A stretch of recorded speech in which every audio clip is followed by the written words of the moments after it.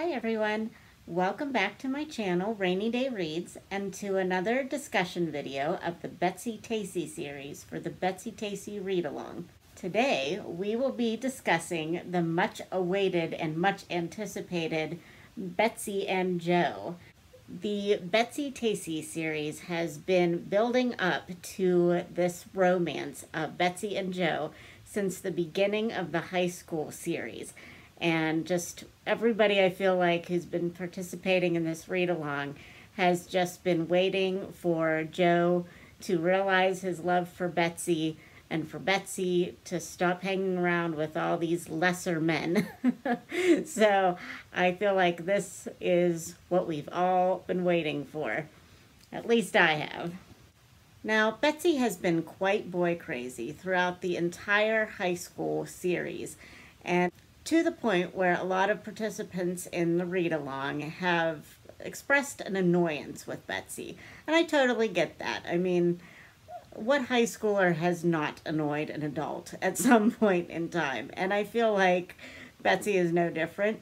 Um, lots of high school girls throughout the centuries have been boy crazy to the point of annoyance to all the adults who have been there before and quite frankly were probably boy crazy themselves. But I think that this was at the author's design, really. Um, Betsy, every year, vows to get to know Joe better, or even to the point that she vows that this is the year that she is going to win Joe over. And every year, Joe avoids her and either goes with somebody else or we just never see him and he's never around. And then Betsy, instead of just focusing on school like we as adults know she should, she latches on to a different guy who is just paying attention to her for that period of time. And we all know that that guy is not going to last and is beneath Betsy, but she just wants to have a boyfriend. And I feel like that is kind of a normal thing for a high schooler to do. And I feel like that is also kind of a genius move on Maud Hart Lovelace's part because she really is building up this suspense of, you know, will Betsy ever just wait for Joe and uh, to come to her? And will she ever just realize that, you know, she needs to focus on her schooling and not these silly boys that are not good enough for her. And uh, yeah, in this book, we kind of get the answer to that. In Betsy and Joe, I feel like there was a noticeable shift in Betsy's personality, um, even from the beginning of the book. Every book starts off with Betsy in um, the summer vacation right before her new year starts. And every year she kind of thinks about what she's going to do with her uh, sophomore year, her junior year, and now her senior year. And this year, there was a lot more focus on school. In other years, she has talked about, you know, her schooling or her writing, but there has always been that undercurrent of guys, and usually Joe.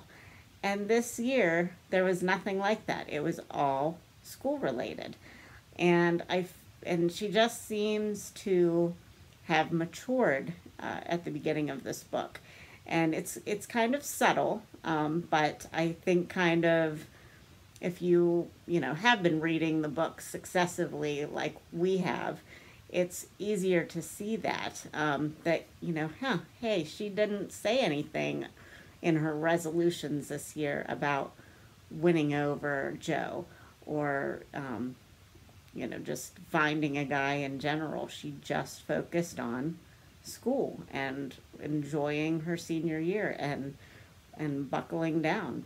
You know it was it was an interesting shift i thought. Now that's not to say that betsy was not uh, without her flaws and was still immature in ways.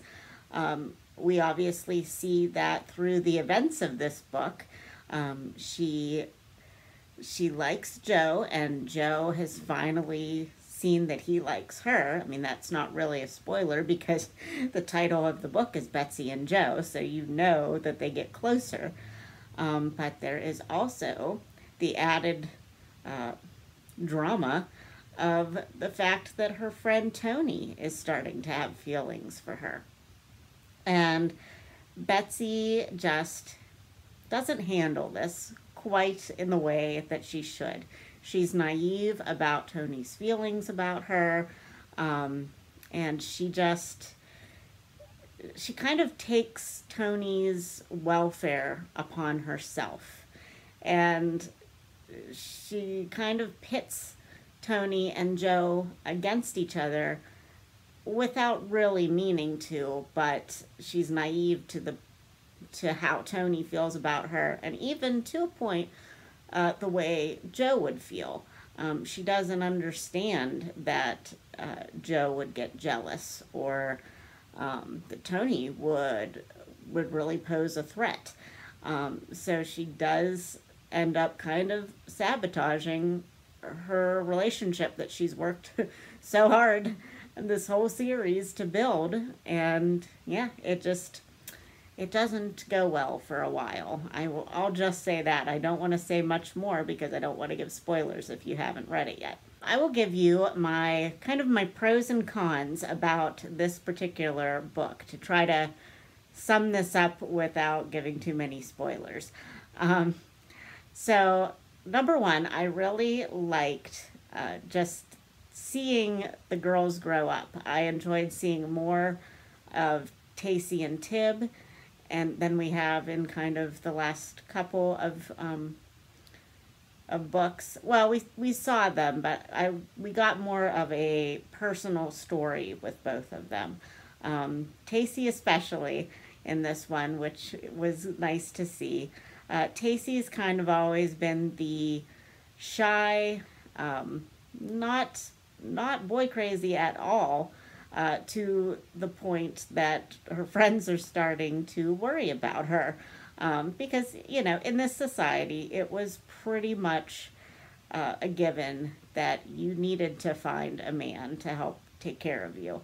Um, and, you know, being an old maid was a, very serious problem to these girls, and they worried that Tacy was going to become an old maid because she just didn't seem to care about any boys. And um, through through events that happen, um, we see that they don't need to worry about Tacy. and that's all I will say. But I really enjoyed how Tacy's story uh, goes, and I, I hope it's not finished. I hope we get more of that and see what happens in her future. But um, I think they definitely underestimated Tacy, and uh, she just she was just holding out. She wanted she wanted what she wanted, and she wasn't gonna be like Betsy has been, and uh, just latching on to every boy who bats an eye at her. Um, she she just didn't want to she didn't want to mess around. She wanted there to be one person who fulfilled all of her expectations. And uh, I, I really I really enjoyed that about Tacy's story in this book. I just felt like ultimately Tacy's storyline was very sweet and very satisfying.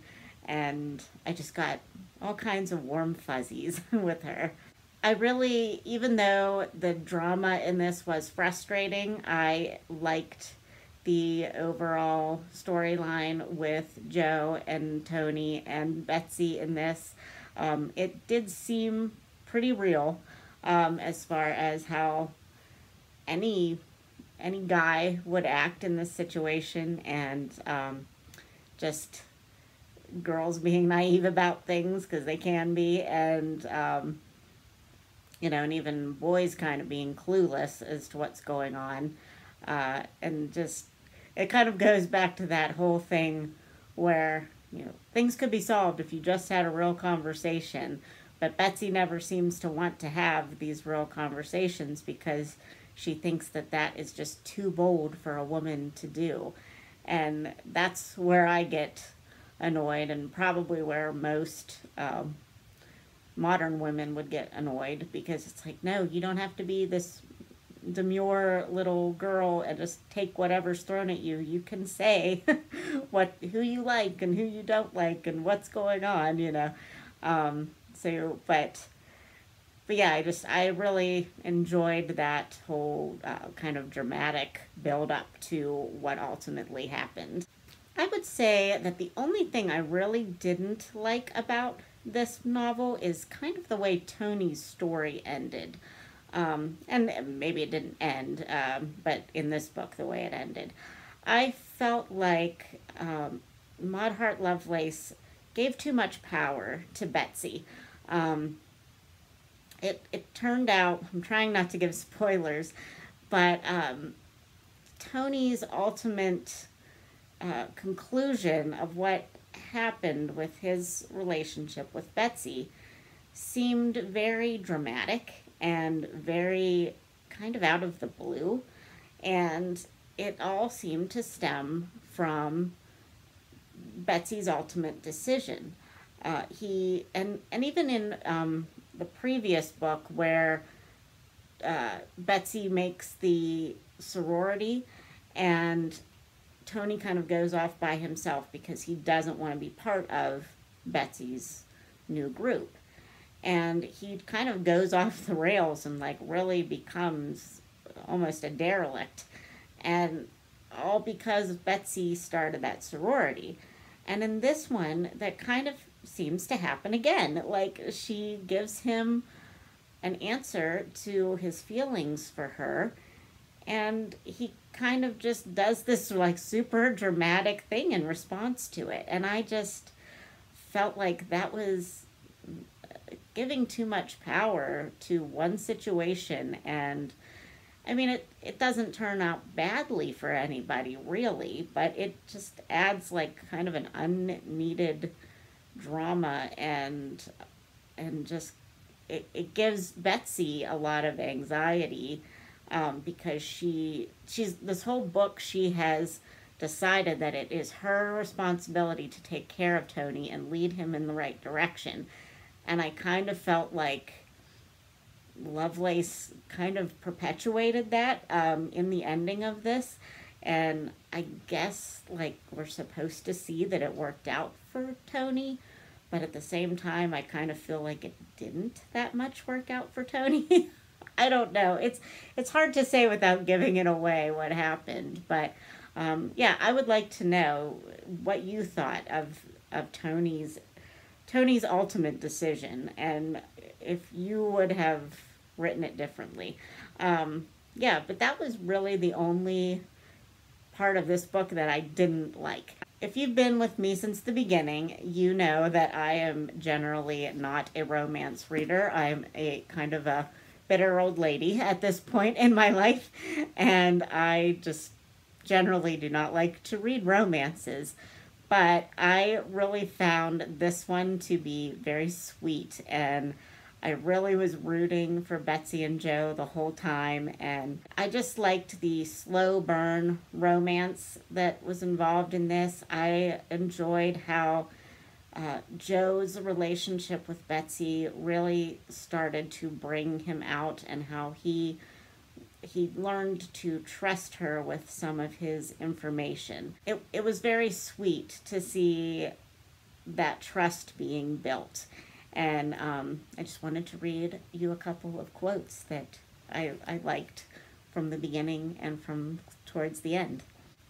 Now, this is from the end of chapter 4 Joe would be slow to let her or anyone else through the door of the room where he kept the problems he had met in the past, his plans for the future. Joe Willard wasn't easy to get acquainted with, but Betsy felt a sweet, strong certainty that she would succeed in time. And this is from one of the last two chapters of the book. Joe, Betsy said, you don't look like your uncle. No, I look like my mother's people. He's my father's brother. My father, Joe went on, died when I was a baby. He was a lumberman, yanked down tree yanked down trees in the northern woods. I've always been strong as a horse, and I guess it's because of him. And that was where we first really see Joe start to talk about his family with Betsy. And, you know, it takes their pretty much entire relationship at this point for him to be comfortable enough with that. And he still uh, won't talk about some other things with her. And, you know, it, it just proves that Joe has a lot in his past and he is not going to give it up lightly, but that Betsy is the one that he is going to confide in the most if he's going to confide with anybody. So I think that just really shows a maturity in that relationship and that and that that ultimately could be a real uh, relationship and and real love, not just some of these other guys that she's been going out with in the past. So I really liked that about this book. So there you go. That is my discussion for Betsy and Joe for the month of June. And I would like to know if you are reading along with us and what you thought of this book and uh, how you felt in, in this book the whole time. And yeah, what you thought of the whole Tony thing at the end. I'm, I'm still unsure of how I feel about that. so yeah, I hope you've had a great June so far and that you are enjoying everything that you are reading and that if you are uh, participating with us in this read along, that you have enjoyed that as well. Talk to you later, friends. Bye.